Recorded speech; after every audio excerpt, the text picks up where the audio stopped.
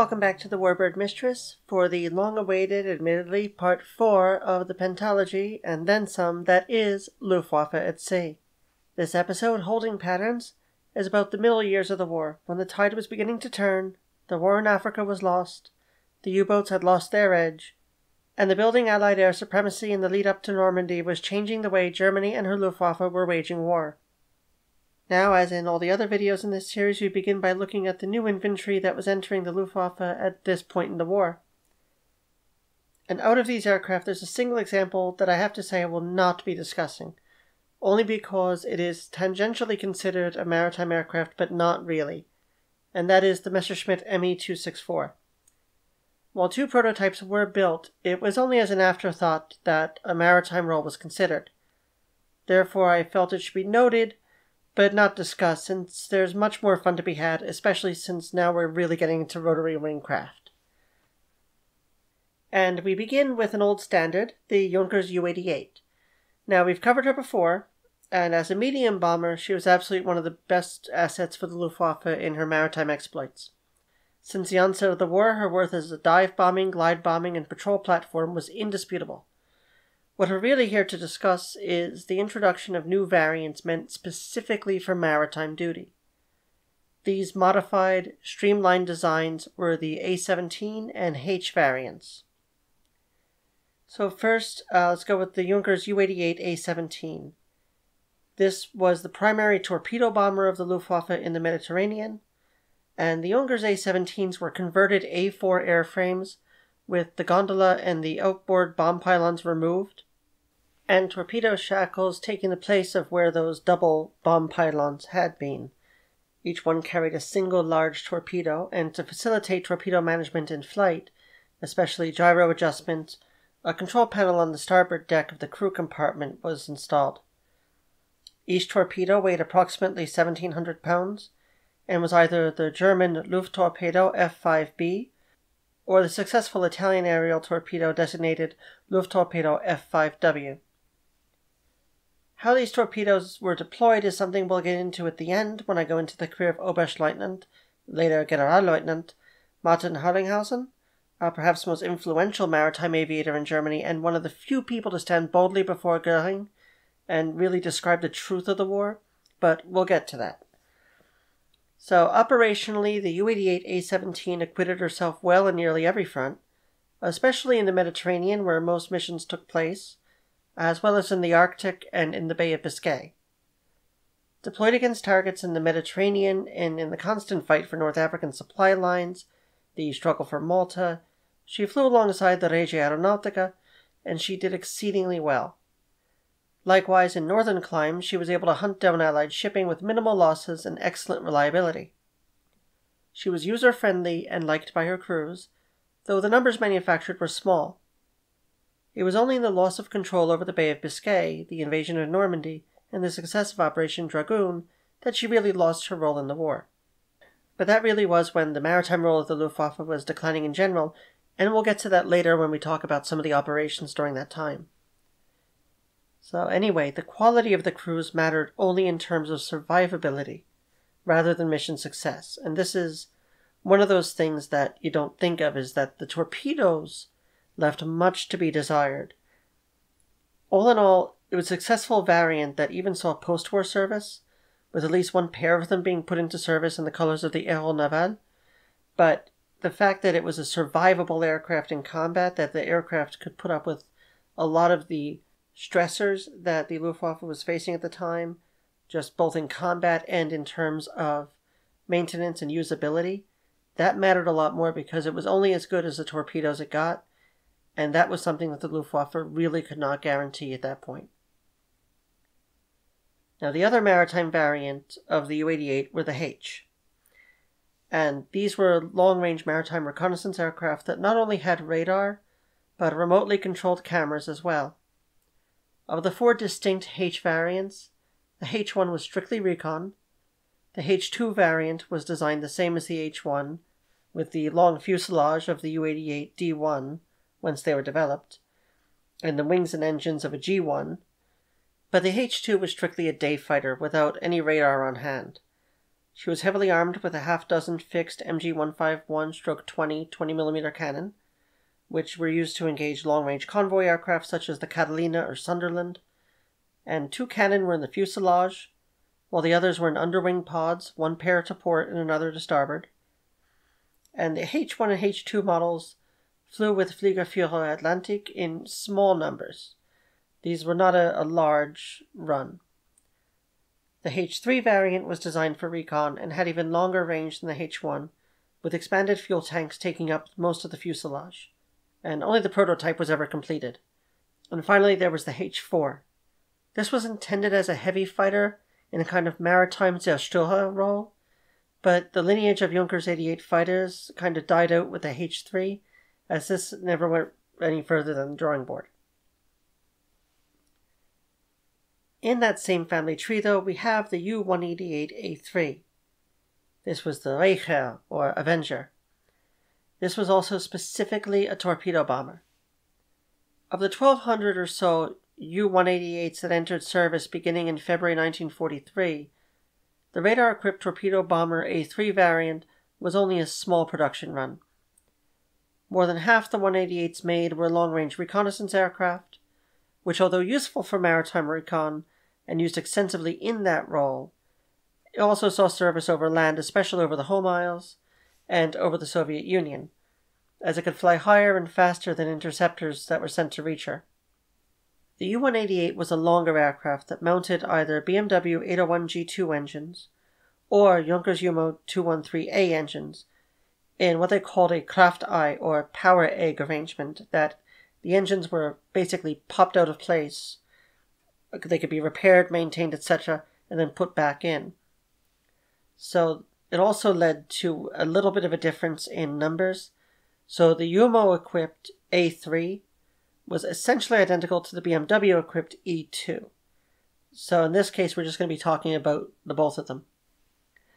These examples had the outer hardpoints removed and the inner hardpoints replaced with torpedo shackles just like the Ju-88 had had. Without the expanded ordnance payload of other bomber variants of the Ju-188, she really wasn't a great improvement over the Ju-88, and her wing wasn't strong enough to mount four torpedoes.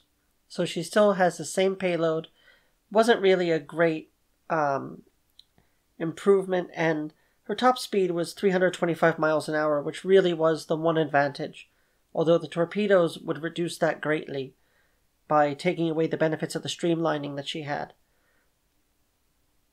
She did, however, have longer range, and she had a single gun dorsal turret that was placed immediately above the flexible dorsal position.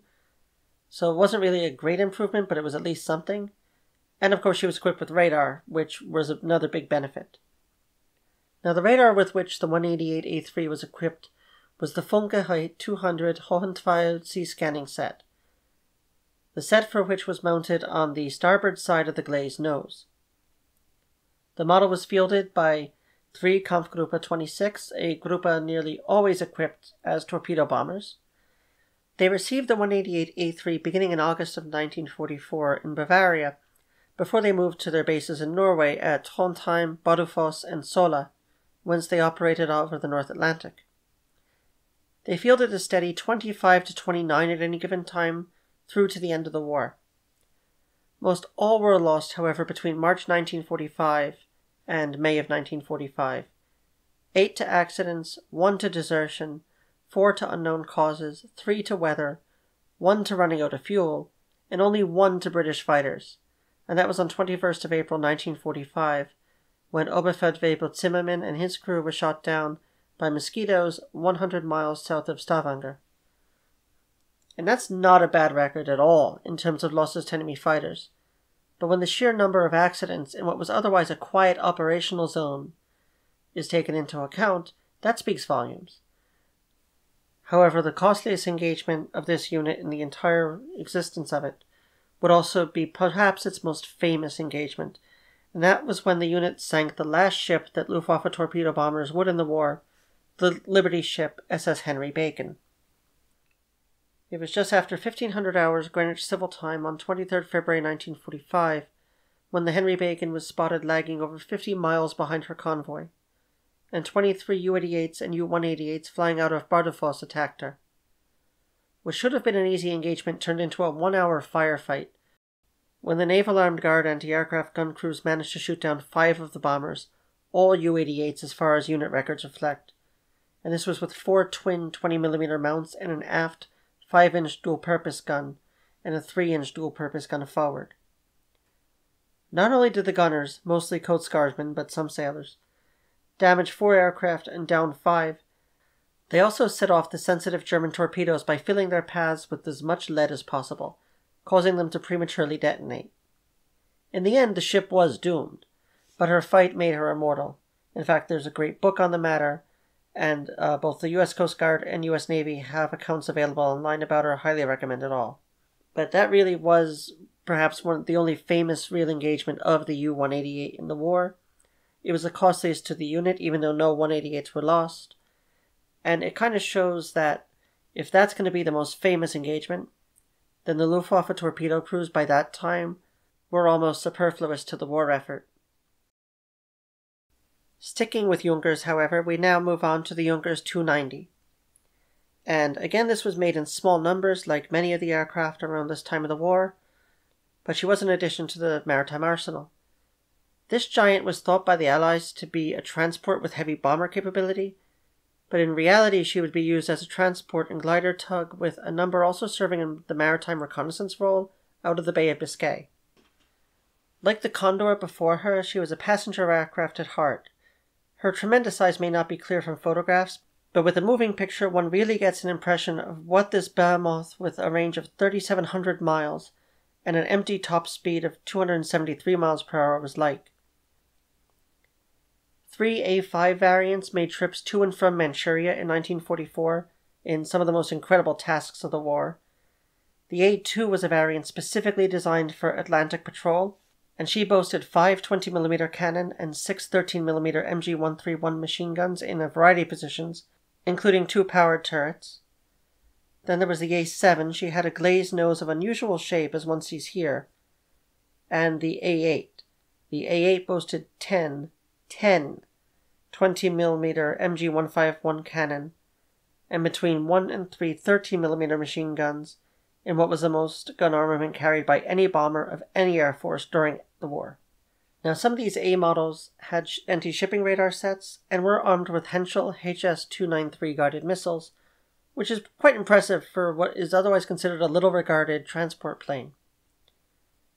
The B model added pressurized cabins, even more fuel, radar and missile capability, and could boast a range of nearly 5,000 miles. So here we have an aircraft that, even though it was designed as a transport and at heart was a passenger aircraft, if you really look at the design, being not only used as a maritime bomber with a range and an armament really heretofore unseen, but also what is perhaps the world's real first standoff anti shipping aircraft as the Henschel HS-293s could be fired from beyond the defensive capability of the ships which was attacking. You know, here have this this massive aircraft that could carry multiple missiles, and had it come out earlier in the war, really might have made a huge impact on the war in the Mediterranean and, of course, the war in the Atlantic if uh, early enough. But with that, we end our adventures with the Junkers Company and we get into some interesting stuff. Not that that wasn't interesting, but yeah, this is the stuff for which I wish there was more motion picture content, and that's rotary wingcraft. And developed from the Flettner FL 265 helicopter, the Flettner FL 282 Kolibri Hummingbird was a one or two place helicopter with centrally mounted engine and intermeshing rotors, which was very typical for German aircraft. Being a totally new kind of venture in aviation, and aviation itself was only just 40 years old, we remember, the first prototype only took part in tethered ground tests, something that had really not been done before, but this, as I said, is new ground for everyone. And with 125 hours of testing, it was finally decided that the second prototype, V2, would be used for the first free flight test, which was held on 30 October 1942. Limited in scope, it would be the third prototype that truly led the way with a factory test flight by Flettner's chief test pilot Ludwig Hoffmann, and he brought the aircraft up to 3,800 meters, about 12,500 feet, in a space of 36 minutes. So it's flying higher and more efficiently, really, than most any helicopter up to that point, and in terms of lifting power and stability, it was actually ahead of its time. Test pilot Hans Fuisting also showed that the aircraft could achieve stable flight without any hands on the controls, and that was so long as the speed was under 35 miles per hour or so, and that the envelope for longitudinal stability was lowest at around 20 miles per hour and lower. Now, the first four of these aircraft were completed by Anton Flettner with a glazed forward cockpit area. These were the 282A line. From the V5 forward in what would become the FL 282B, the cockpit and much of the fuselage were uncovered, and only the engine compartment was covered, and even then only in fabric.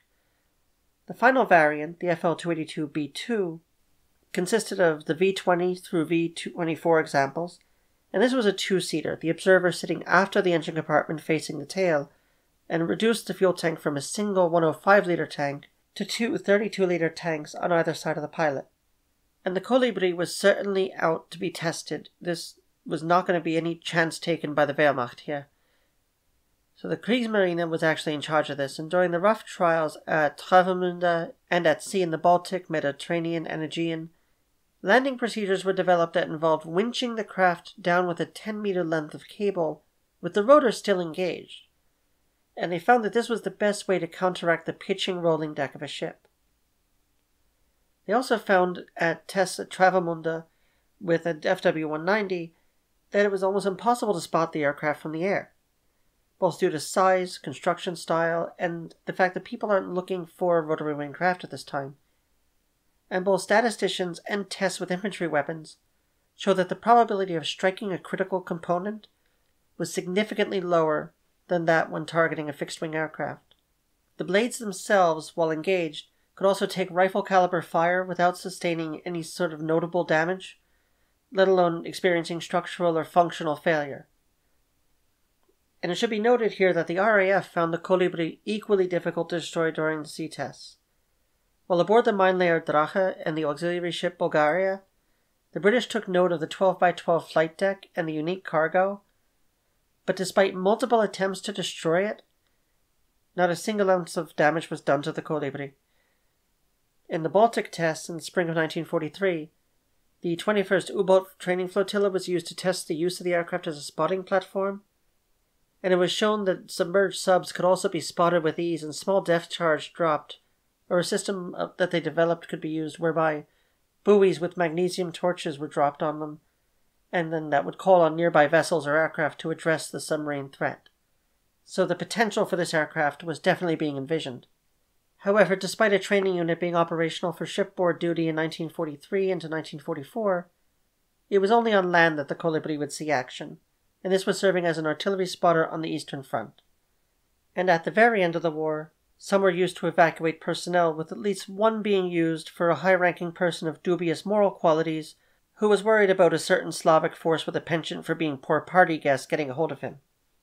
But this was not the only rotary wing craft that the Luftwaffe had, or I should say, that the Kriegsmarine had. And this is going to be one of the rare instances where there actually is full cooperation between the branches. So the next aircraft is the Focke-Achgelis Bachstelze. It's perhaps the best known rotary wing craft of the war. It was an unpowered gyrokite that was meant to be towed by a U boat. The Bachstelze, which is German for a uh, Bergeronnette or a wagtail, could maintain a speed at 17 miles an hour, which was about 14.5 knots. Being used on a Type 9 U boat, this posed little problem as their surface speed at a head two thirds was about 14 miles an hour in slower marks and about 18 miles an hour in later models, with flank speed at about 21 miles an hour in early variants to 24 miles an hour in the faster marks. So even in a relatively still wind, they could still be launched with only a brief burst at flank speed and in a moderate wind they could be launched at cruising speed by turning into the wind. While the actual deployment numbers are not known, which is rare considering how much the Germans love to write things down, it is believed that only the D1 and D2 marks of the Type 9 were routinely assigned one of the kites. The typical speed at which stability was maintained was approximately 25 miles an hour, so only 2 miles an hour over flank speed, and 4 to 6 over cruising speed. Thus, it did necessitate some caution when including the wind speed in calculations, although they rarely encountered the weather that would bring them into the red line speed of 50 miles an hour, and it was at that point that structural failure could be predicted. If there was insufficient wind to launch the Bachstelze, a cord attached below the rotors could be used to start them and get them going. The kites were restrained on 150 meters of cable, so just shy of 500 feet, and this ended up offering the U boat another 25 miles or so of visibility, which at sea, especially if you're looking for allied escorts that might come bearing down on you, is a lot of extra space and a lot of time on your side. And in the event something was seen, a telephone line ran from the pilot to the U boat to facilitate communications. A few authors have written of 950 foot cables being used, although most do not, and it seems only to be mentioned in the March 1990 edition of Air Power magazine. But if there is a source that shows that a much longer cable is being used, I'd love to see it. Now, these were built outside of Bremen by the Weserflugzeugbau, not far from the Bremen shipyards that were manufacturing most of the Type 9s. And about 200 were constructed before the end of the war. They could be easily stored in watertight tubes on deck, and assembly required little special training, so any able seaman should be able to help with assembly. As for flying the craft, two or three members of each U boat's crew were trained at the wind tunnels in Chalais Meudon outside Paris. And it is really, as far as I could tell, perhaps maybe the only occasion in which non Luftwaffe personnel were flying anything. I mean, after all, if it left the ground, Hermann Goering was in charge of it, and you could check out my Luftwaffe versus Kriegsmarine video about that. As long as weather wasn't a problem, the Bachstelze took about four minutes to assemble and four minutes to take down. Although in weather, it could take upwards of 20 minutes to stow away safely in the containers that were bolted after the conning tower. And that doesn't include the time it would take to safely winch in the cable. So while deploying was easy, actually taking it back in and stowing it was really the issue. And this is one of the reasons that it wasn't popular when it was first deployed in 1942, it saw little action. In the North Atlantic, the weather and the constant risk of Allied air intervention made the use of the FA 330 a liability to the boat. In the event of a crash dive, the cable could, however, be released by the boat crew. This would leave the pilot to jettison the rotors and the rotor hub, automatically releasing a parachute that was strapped to the back of the pilot's seat, and thus leaving him in the ever comfortable warm tropical waters of the frozen North Atlantic to await later rescue by the U boat. This still took time, of course, it was an impractical setup overall, and because the pilot would then be out there, it not only risked his life, but if any of it was spotted by an Allied ship or by an Allied aircraft, they would know that the U boat was there. So, in general, this was not something that people really thought to do. It's also the North Atlantic, and with the weather being a factor, visibility was not really increased as much as it could be in a better circumstance and that better circumstance and where the Bachstelze did see use was in the South Atlantic, Indian Ocean, and in the Arabian Sea approaches to the Gulf of Aden and Persian Gulf. The only documented example of the FA 330 directly contributing to the sinking of a ship was off the coast of Madagascar on 5 of August 1943. This was by U 177, captained by Korvettenkapitän Robert Gysae. This was the Efthalia Mari, it was a Greek steamer on the route of Durban, Lourenço Marques, Suez, Alexandria. Interestingly, the FA 330 was also useful as a trade item for the men of Gruppe Monsun. These were the U boats that were being sent out to the Dutch East Indies and connecting with the Japanese also operational in that area. At Surabaya in the Dutch East Indies, the Japanese had established a shared submarine base, and as part of that, two Arado 196 float planes had been stationed. The FA 330 that was aboard U 862 and the one aboard U 196 were traded in exchange for an Imperial Japanese Navy Aichi E 138 Jake that was then used alongside the Arados to bolster the German patrols. At the base at Georgetown, Penang, and occupied Malaya, a similar exchange was made there as the Germans had no air assets present. Royal Dutch, Australian, and American commands were all well aware of the German and Japanese operations in the area, and the Dutch submarine HNLMS Zwaardvis even intercepted and sunk one U boat, U 168. Now, this was blamed on the Japanese habit of launching anti sub patrols only after 1100 hours. It was like clockwork. And the Allies, you know, happened to have intercepted the radio transmissions, but the Axis didn't know that and they wouldn't admit to it. So, with that mindset, they felt that they had to add more air assets to protect themselves. One must wonder then how Kriegsmarine Luftwaffe collaboration in the establishment of maritime aviation assets in the Far East could have influenced U boat operations in this crucial area. Regardless, that's about the end of the documented use of one of the most preserved examples of World War II aviation, although it really is just a collection of pipes attached to a rotor assembly and empennage, so the reason it's one of the most preserved is just because it's easy to preserve. But that is the story of her, and I really wish there was more there, but there just isn't documentation in Kriegsmarine or Luftwaffe records, and it's a real shame in terms of what's available to the historian. Now, what is available to the historian, though, is the actual usefulness of that little Arado 196 float plane. And we've discussed, of course, this in previous episode, but it comes up now, especially because at this point in the war, its use had changed dramatically and it was still ever as useful. And one way in which it did see a new life was as a patrol interceptor in the Bay of Biscay. 5 Bordfliegergruppe 196 was reformed as the first Staffel of Seeaufklärungsgruppe 128 in June 1943 and located at Ortain, or uh, locally Orti, and was under the command of Fliegerführer Atlantik in Brest. And this little group flew Arado 196's, a handful of Bücker 133 trainers, and they were basically sharing with the Seenotdienst. So from June through to the end of the year, no actual fighter aircraft were stationed with either the first Staffel or the second Staffel, although detachments of barely a handful of FW 190A5s and A6s had been assigned at uh, and at Bayonne primarily for defensive duties. The second Staffel of the unit, also formed with the same personnel, would continue to operate in the Mediterranean out of Berre in the Côte d'Azur, and that was until August of 1944. They never converted to any other aircraft. They kept their Arado 196s until they were disbanded. The first Staffel was the primary mover and shaker here, and they operated until January of 1944 when FW-190s arrived just weeks before the redesignation of the unit to the 8th Staffel of Geschwader 1 and the departure of the Arado float planes and the repurposed Bücker trainers. And even then, despite only a maximum of nine fighters were ever assigned to the unit, before they were moved inland to take part in the anti-partisan duties and then integrated into the Geschwader Bongard. But in those seven months of operation, the first Staffel was tasked with protecting the U-boats at their most vulnerable part of their journeys and intercepting Allied patrol and reconnaissance planes.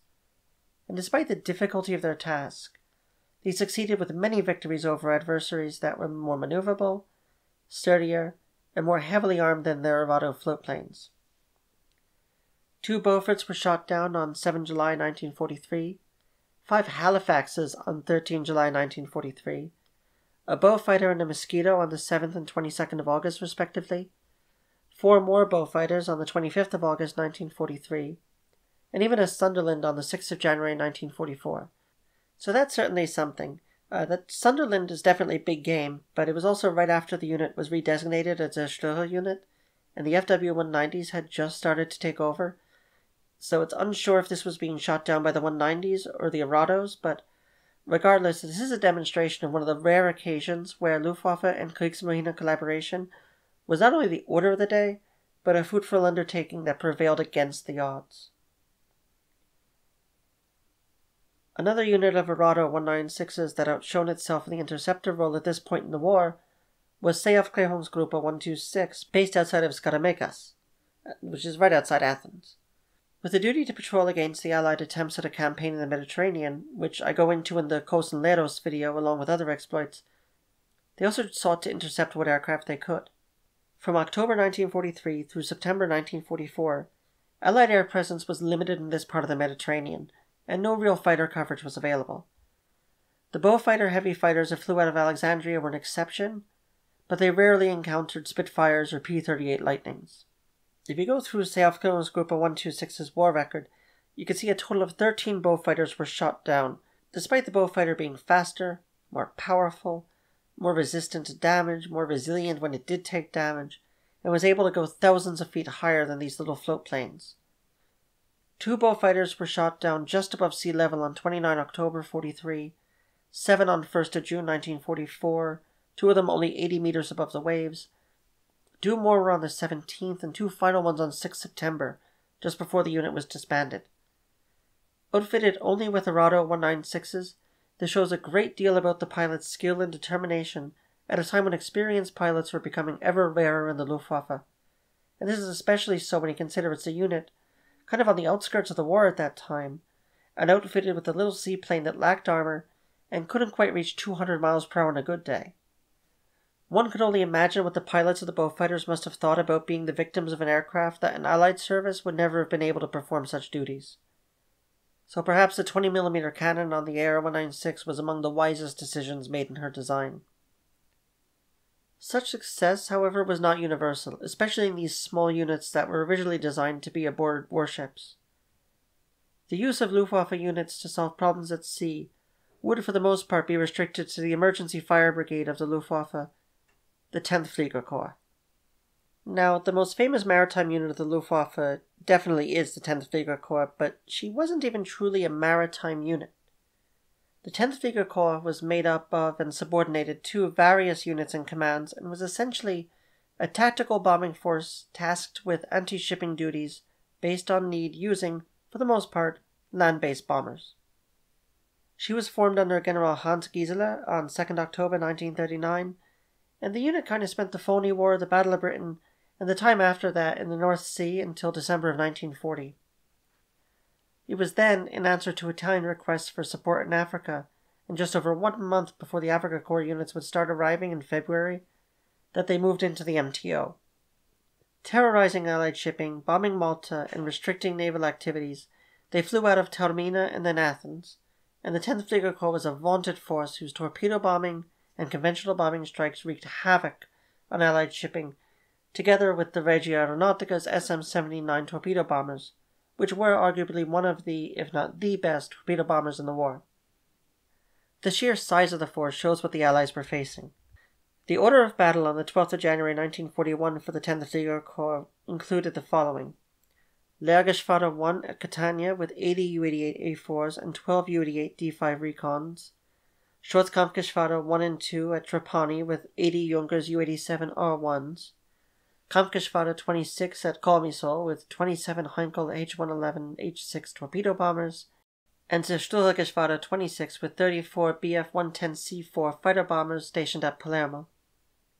The lack of single-engine fighters is interesting, although for the offensive against Malta in February and March of 1941, the Bf-109 E-7s of JG-26 and JG-27 did join the 10th Fliegerkorps before moving closer to Tobruk to support the Italo-German front in Africa.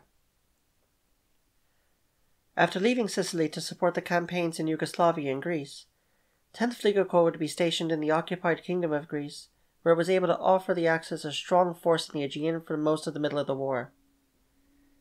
Strength at the end of June 1942 was 31 Ju-88A4s and 27 Ju-88A4 Tropicals of LG-1 at Heraklion under Oberst Franz von Benda. Aufklärungsgruppe 126, which we had just discussed, commanded by Oberstleutnant Hermann Kaiser, comprised of 63 aircraft, most of which were Arado 196A3s, together with a handful of Heinkel 60Cs, captured Fokker T8s, and BV 138C1 examples at Skaramangas, with a Staffel at Kavala and an additional unit of AR 196A3s at Skaramangas from the 2nd Staffel of Seeaufklärungsgruppe 125.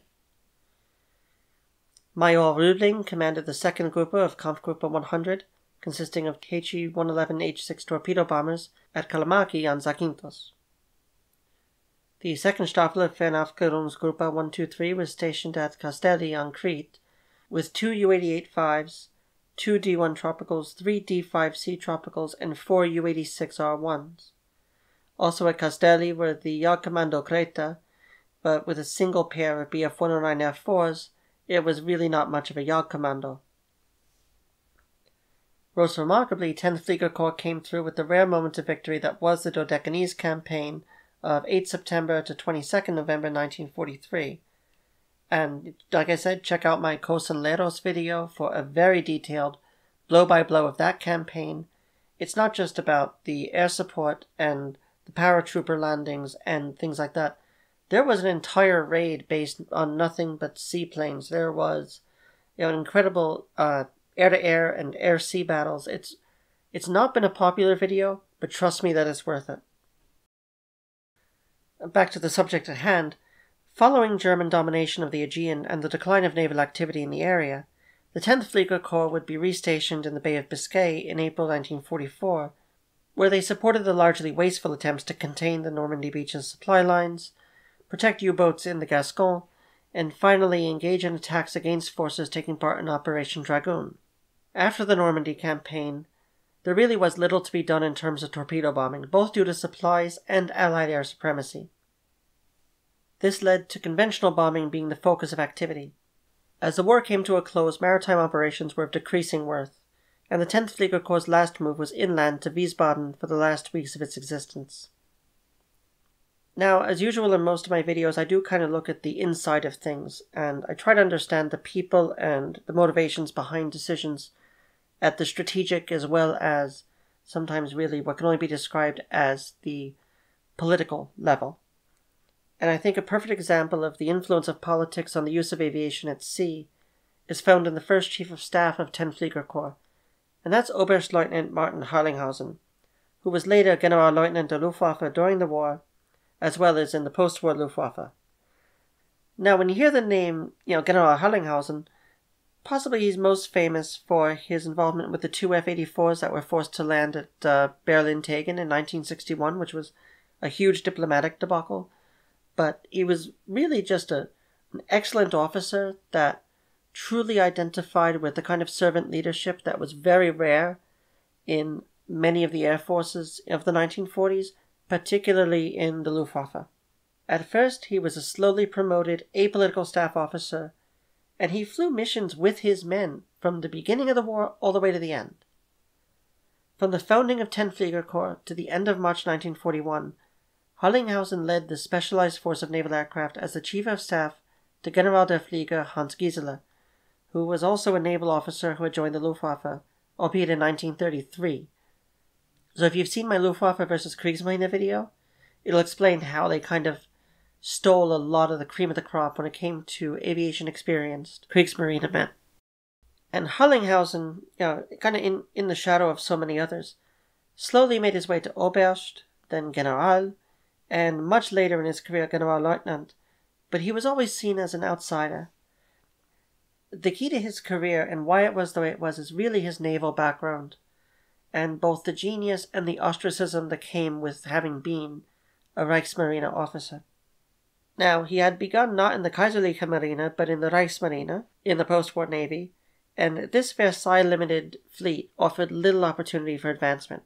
Like most of the German forces under the Weimar years, there was very little movement, contracts had to be long, the Allies thought they were, they were crippling the Germans in a lot of ways, but what they really did was create an elite Unfortunately, that elite meant that men like Harlinghausen could not really progress. So in 1931, he decided to learn to fly. And he really was a huge proponent of the Marinefliegerkommando. And like I said, check out my other video for why that didn't become a thing. But instead, he ended up being a Reichsmarine torpedo boat officer, and the pilot training was completely on his own dime, or Pfennig, or wheelbarrow, or however they were measuring money at the time. He excelled as a skipper of a series of torpedo boats and was well acquainted with the value of hit and run tactics and the power that came with a well designed torpedo that Germany just didn't have. So he joined others in this struggle for really an independent naval air force, and when it failed, he was one of those naval officers that went over to the Luftwaffe in 1935. But rather than becoming a disposable lackey like so many other former Kriegsmarine officers who found themselves in the shadow of the unfriendly Reichsmarshal's gut, he continued to make a name for himself. He was just the man for any potential development in naval aviation, and he was a huge proponent of dedicated torpedo bombing variants, like the Ju 88 A 17, the Heinkel HE-111J, and the Heinkel HE-111H6.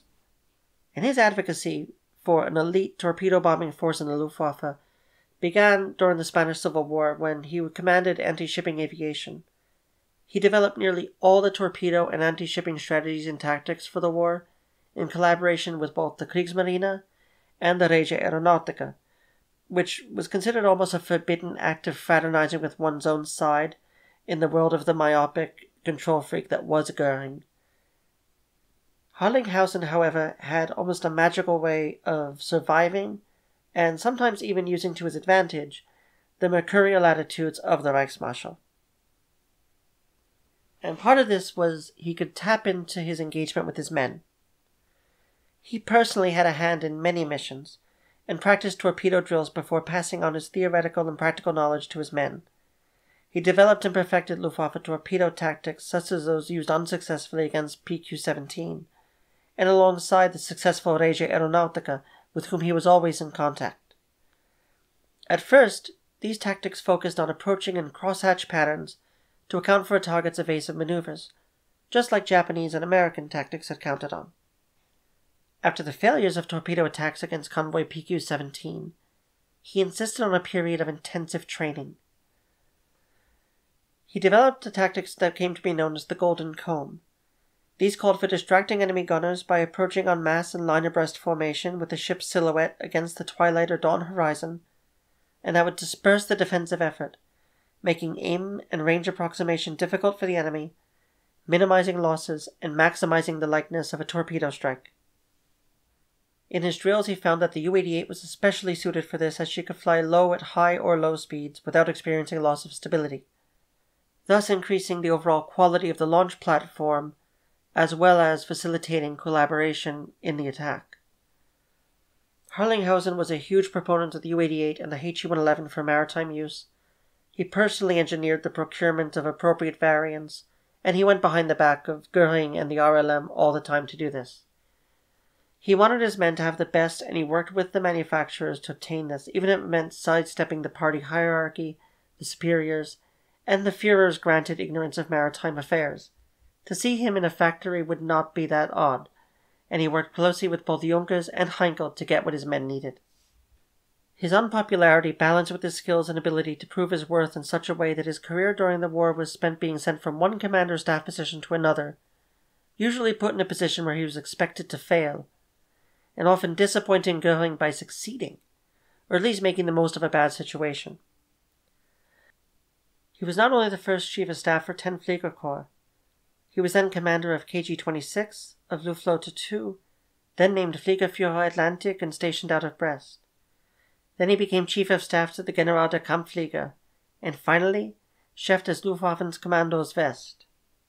It is truly he to whom we can look when seeking out the genius behind the Luftwaffe's accomplishments at sea, an ability to carry out operations despite constantly changing demands and new threats from the encroaching allies sidelining by political adversaries from within the Luftwaffe itself, and the exacerbated shortages of men and materiel that came with being in such a position. And with that, we come to the closing of our journey. I know that it took a long, long time to get this done. I apologize for that, but I sincerely hope that you've enjoyed this. I have to say that when I lost the first copy of this, my files included many colorized films scanned documents describing specific Luftwaffe attacks at sea, even some great footage of operations in the Mediterranean. Unfortunately, when you have to redo something from absolute scratch, it's enough of a drain on what's left of my brain, and much of it I could either not again find, edit to the same quality with which I was happy the first go round, or find a way to work into the final editing.